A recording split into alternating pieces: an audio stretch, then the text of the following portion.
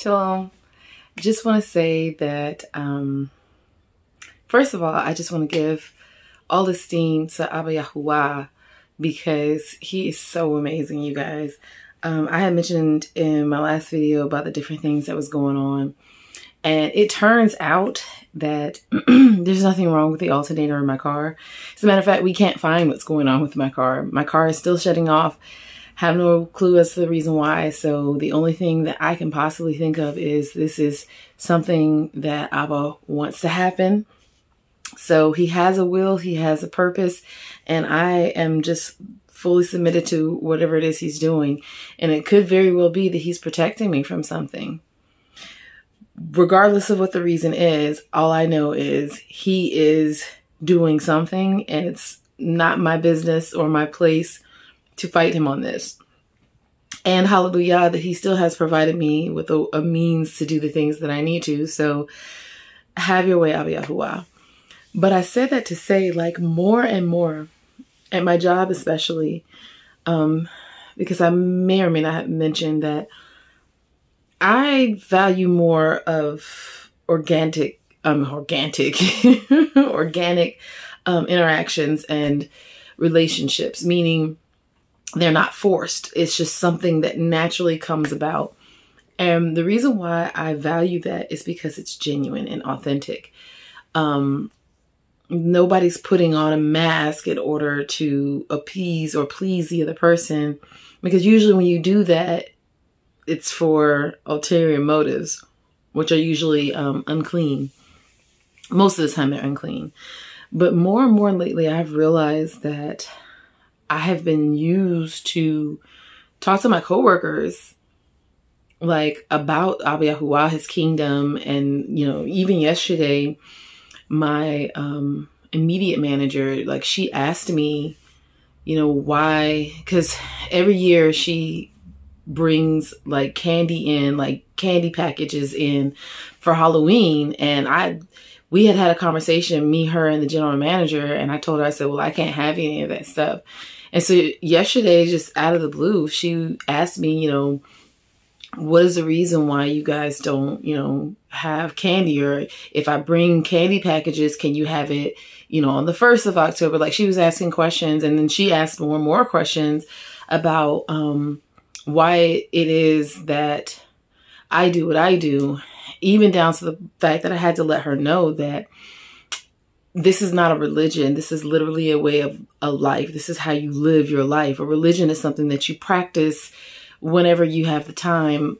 But this is this is how we live. It's a culture. I mean, being a Native American is not a religion. It's the way they live. It's the way the Native Americans live. Being Chinese, that's not a religion. That's you're Chinese. You, you have a culture. It's your culture. And it's the same thing with being a child of Yahuwah an Israelite, and that is an Israelite, whether it be by blood or, you know, through, well, we're all Israelites through Yahushua HaMashiach, but you know what I'm saying? Whether you're a Gentile that was grafted into the cultivated olive tree or you come from the cultivated olive tree, regardless, none of that is relevant. If you are an Israelite, you're an Israelite, and it's your it's your culture, it's your nationality. It's not it's not a religion. It's it's literally how you live 24 7 365 days a year um, and the 365, of course, you know, I'm going by the Babylonian calendar. But anyway, said all that to say, yesterday I woke up and even the night before last, before I went to bed, I had started to feel a little funky, but I was like, you know, it's okay. Then I woke up yesterday and I just, still felt, I felt bad, but it wasn't bad enough for me to call out of work. Then when I got to work, I just started feeling worse and worse and worse. It felt like that, it felt like I was coming down with something. And I was like, okay, I don't want to throw up any red flags or any alarms or anything. So I just, I finished my job. I came home and I made me some tea. And I sat down and I just rested. And since then, I have been reading the word. I have been, well, reading the Sefer. I have been um, praying and talking to Abba and just listening to some worship music. Here and there, I have watched YouTube videos. And as you know, I try to watch YouTube videos that are edifying for my Ruach and not just random things. Although I will admit, Sometimes I do watch the funny animal videos. Thanks to my son. I'm sorry. I love animals. and tornadoes. I don't know. I have a thing about tornadoes. And, you know, if I'm wrong for that, please pray for me. like, but anyway, I said all that to say, I realized that without taking any medicine, no medicine, just spending time with the Father, I don't feel bad anymore. Like, my head stopped swimming. I didn't feel like there was a weight on my chest anymore. And it even felt like, like on the inside of my chest, you know how it feels when you're starting to get sick, how your chest feels? That's how it felt. My, my throat had started to feel a little sore and scratchy at the back. And it had started, you know, felt like I was, it was swelling up a little bit. And I started sneezing a lot at work, which usually means that I'm about to come down with something. That's how it starts off with me. And then my whole body just ached and I do do a very physically demanding job, but I've been doing it for a while. So it's, it's like I get paid to exercise. So my body is, for the most part, used to the repetitive physicalness of my job. I mean, I literally, I work five days a week. So it's like I'm, it's like I exercise eight hours a day for five days a week. So I'm fine. But the reason why I'm saying this is because, like I said, I got in his word, I got in his presence, I praised and worshiped, and I feel none of those things anymore. And I think it's very important that I say, I speak those things because we need to understand that he, he is our salvation. He is our salvation. Yahushua HaMashiach is our, is our way out of all this bondage that the world puts on us. And sickness is bondage. It's bondage.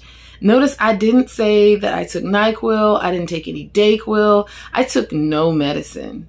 None. Not a piece of medicine. And I was tempted to. My father even asked me because I had told him when I was at work, I told him to start drinking some tea so his his immune system can boost up. Because, you know, my dad will be 71 this year. You know what I'm saying? Like his immune system you know, he's older. So I told him to start building up his immune system so he wouldn't get sick. You know, I give, you know, me and my son, we take vitamins and whatnot, but still at the end of the day, my dad had asked me, you want me to go get some medicine? You want me to do this? You want me to do that? I did nothing. I did none of that. When I got home, Ruach HaKodesh led me to just spend time with the Father. This morning when I got up, I felt found myself just spending time with the Father and then going through His Word. Like He was giving me revelation, and there will be a future video on that revelation. Right now, He's instructed me to take the the words that He spoke to me and meditate on them before I make that video. But just making this video, I just want you guys to know, like, spend time with Him.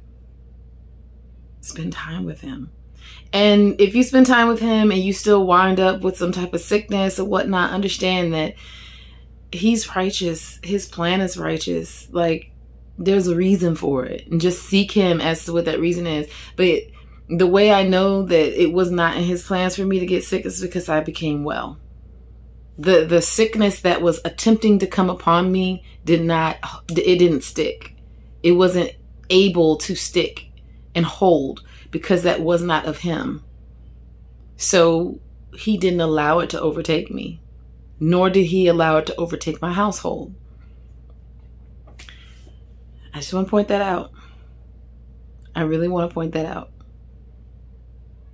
Anyway, this is like my Shabbat outfit, you guys. It seems like I'm always wearing this on Shabbat. Today is Shabbat. It might not be whenever you watch this video, but the day I'm recording it is Shabbat. it seems like I always have this dress on.